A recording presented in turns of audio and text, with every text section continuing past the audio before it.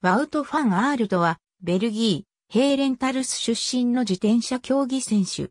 シクロクロス世界選手権男子エリートレースの2016年、2017年、2018年の優勝者として知られている。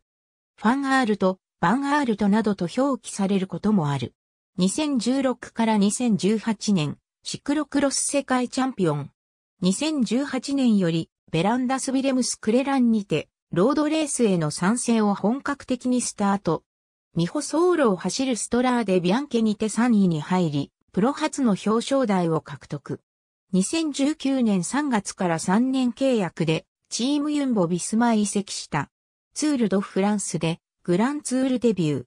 第10ステージで欧風分断により、小集団となった先頭グループでのゴールスプリントを制し、ツール初出場初勝利を挙げた。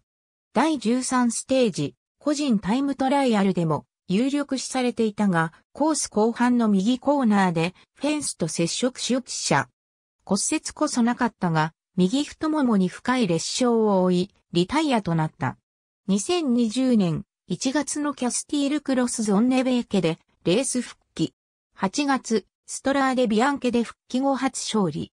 続くミラノサンレモでは、ゴール前、ジュリアン・アラフィリップとのマッチスプリントを制し、モニュメント初勝利を果たした。2年連続出場となったツール・ド・フランスでは、第5、第7ステージで勝利を挙げた。エースのプリモシュ・ログリッチが第9ステージから第19ステージまで総合首位となったことで、平坦、山岳を問わず集団権威を行い、自身は総合20位でツール初完走を果たした。2021年のツールドフランスでは、モンバントを2回登る第11ステージで独走勝利。第20ステージの個人タイムトライアルでは、カスパー・アスグリーンに21秒差をつけて2勝目。第21ステージでは、シャンゼリゼでの集団スプリントを制して、1979年のベルナール・イノー以来の同一大会での山岳ステージ、個人タイムトライアル、平坦スプリントでのステージ勝利を達成した。